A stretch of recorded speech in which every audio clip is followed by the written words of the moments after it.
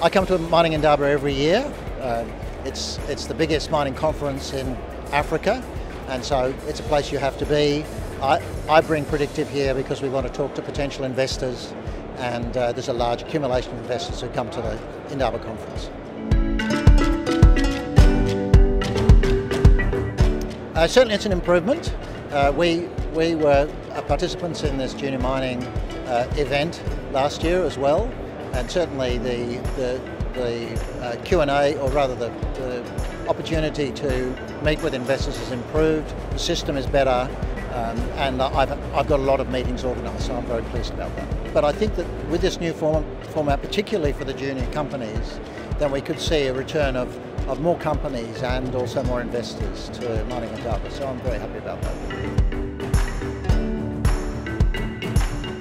Well, certainly there's a, there's a lot of different people that I've got to talk to, so it's going to be a very busy week.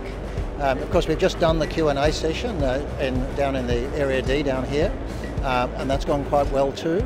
Uh, but certainly it's really those accumulated experiences of meeting with potential investors and also companies that uh, potentially we can do deals on.